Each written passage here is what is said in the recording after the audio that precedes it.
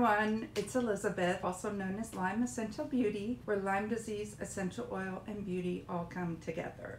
Now before we get into the video, I would like to just point out something so that people don't wonder as they're watching the video. My shirt, as you can tell, is see-through. Therefore, I have a tank top on underneath of it. This is not my bra, my bra straps, this is a tank top wanted to get that out of the way so you didn't think I was sitting here with my bra on and a see-through shirt or sitting here staring at my bra straps for the entire video which I wouldn't want to do if I was you. In today's video, as I'm sure you can tell by the thumbnail, we are going to be trying on and reviewing the Makeup Institute Oasis palette. I went ahead and did this eye off camera and the rest of my face obviously before I jumped on here because I think that seeing what the final result is allows me to follow along with the other steps easier. And so that's why I went ahead and did the first eye off camera and obviously I'll be doing this eye on camera. And despite the Terminator look that I have going, I don't know why it reminds me of looking like the Terminator because it's not like this side of my face is falling off or my eyeballs falling out. That's kind of gross. Whatever. But it does remind me of that part of the movie where like his face is all jacked up and his eyes all wonky. And that's exactly what this reminds me of with makeup on one eye and no makeup on the other eye.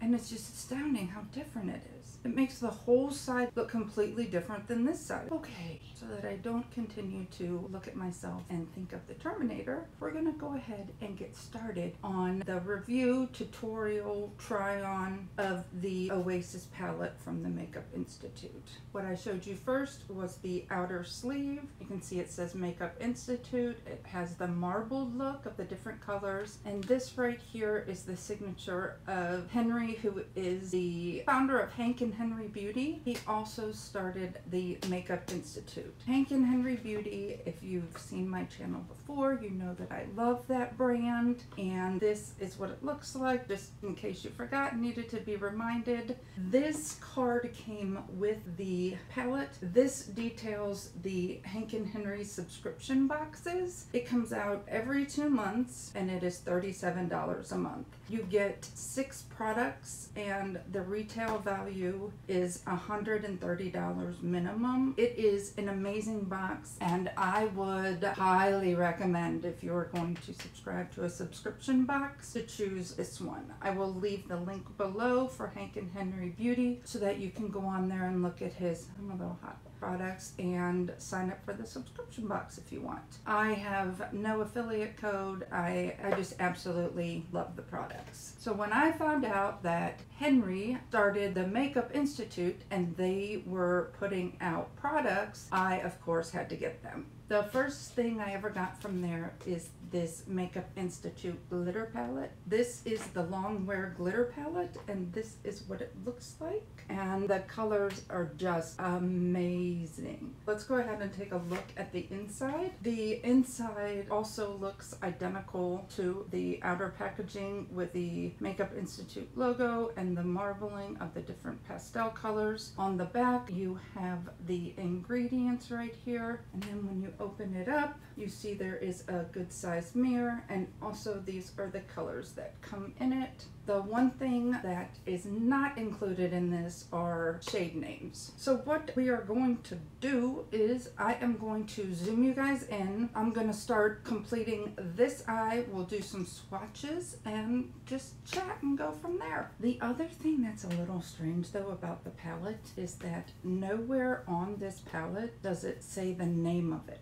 So the only reason I know it's the Oasis palette is because I watched uh, Hank and Henry on his Facebook Live and on my receipt that came with it, it says Oasis palette. Let's go ahead and get started. The first color I'm going to go into is this color right here. I am going to go ahead and go all over my eye with that and just take that and lay it down as a base. The other thing that I did with this light color right here is I went ahead and I took it and I used it to set my eyebrows. I always like to set my eyebrows so that they don't move throughout the day or get smudged. Okay, we just went ahead, I used a big fluffy brush. This is a Wet n Wild brush and I use this brush pretty much every time I put on my makeup. The next color we're gonna go into is this color right here. It is an orangey brown and this is a blending slash flat brush is the best way I know how to describe it. This is the Morphe M434 and what I like about this brush is I will go in and I will tap it and then I will just go ahead and I will just stamp it into place here. As you can see, there is a lot of product that comes off on the brush. I am just going to pack this in right where that indentation where that bone is and your eye socket thingy mabobber place. I don't know what it's called.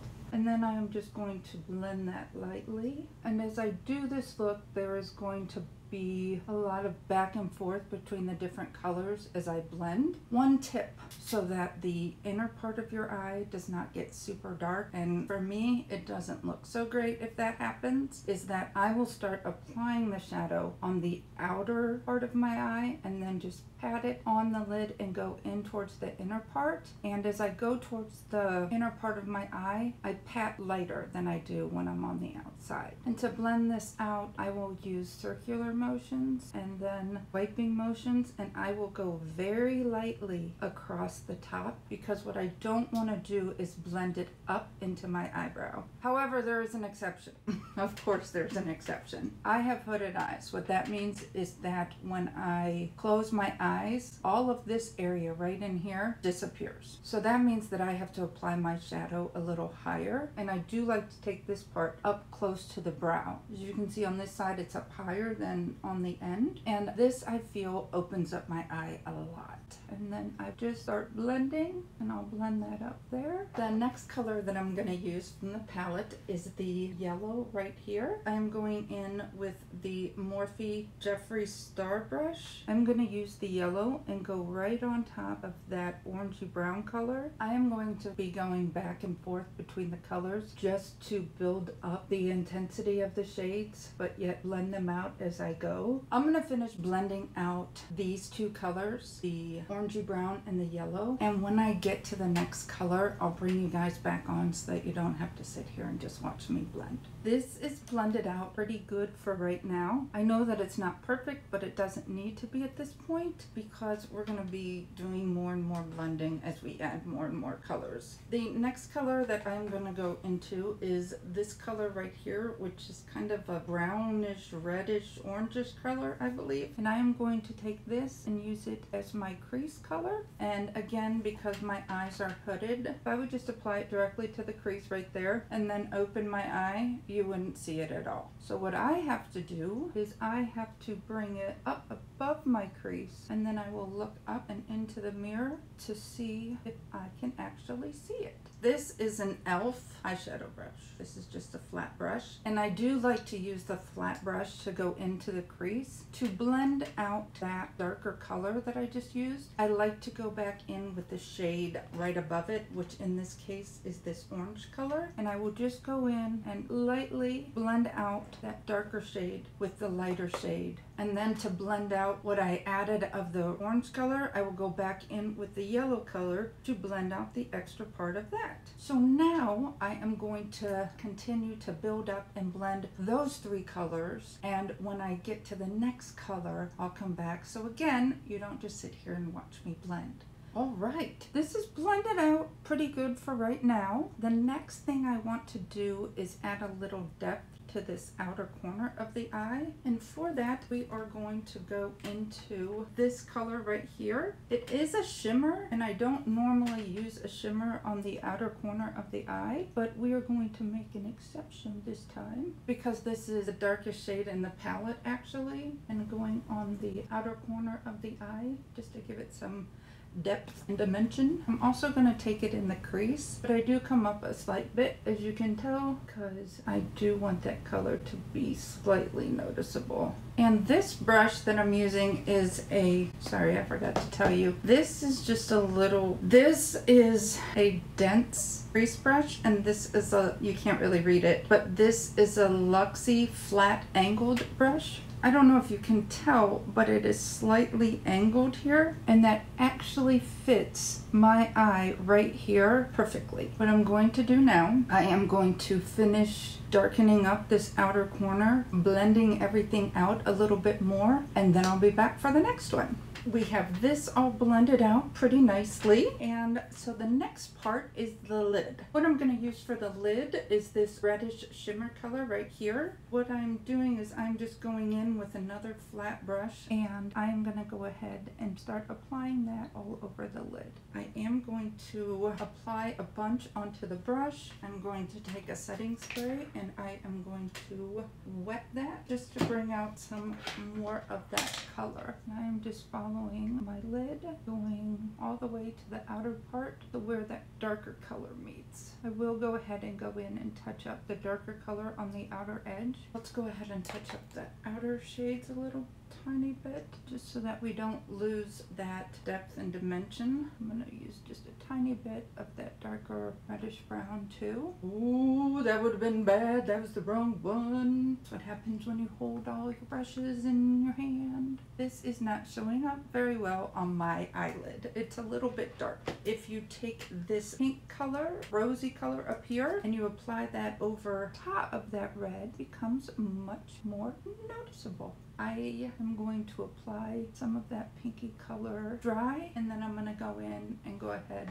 apply some on the brush like I did the darker color wet that with the setting spray and then go back in and then I'm going to use my finger just to blend it out a little bit more. Now this is where I get to be a little bit extra. I will go back in with the darker color and almost frame out the center of the eyelid. The reason that I do this is that by allowing the center to be a little lighter, it makes your eyes look bigger. It is not hugely noticeable, but enough so that it does look a little lighter in the center. You do not have to do this step. I tend to be a little extra when I do my eyes. Plus, I'm trying to use as many of the colors in the palette as possible. So what I'm going to do now is go in with this champagne color. I'm going to take some on my ring finger and I'm just going to dab that in the center also. I'm going to go ahead and blend that just by tapping all along. Now what I'm going to do, look at how bright my highlighter looks on my nose.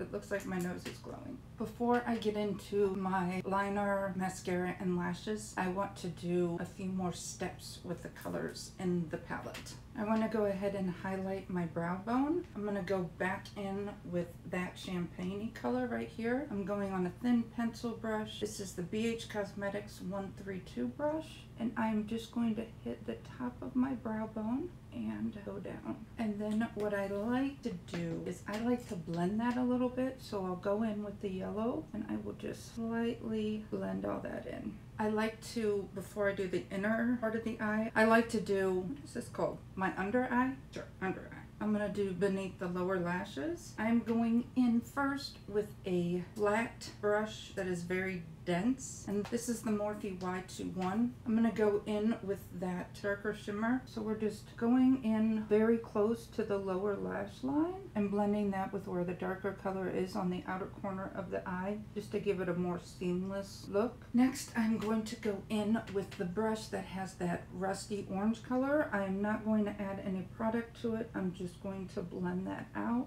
I'm taking a, another pencil brush. This is the BH Cosmetics 105 and I am going to go ahead and go into this green metallic right here and I am going to go underneath that darker color with that green. I'm going to go in with the darker orangey browny reddy color and I'm also going to hit right underneath that lash line again. Pop a tiny bit more of the dark metallic on there. We just have the inner eye to do now. To continue on using more colors in the palette, we are going to go in with this gold shimmer here and I'm going to take that on a, another little pencil brush. This is the Morphe M455 and I'm going to go in and go ahead and just roll it in the gold a little bit. Then I'm going to take it on the inner corner of my eye and just bring it down ever so slightly right here and I am just bringing this into the corner and up a little bit just kind of going in a little circle right there this is a little darker for my actual inner inner corner than I like so I will go in with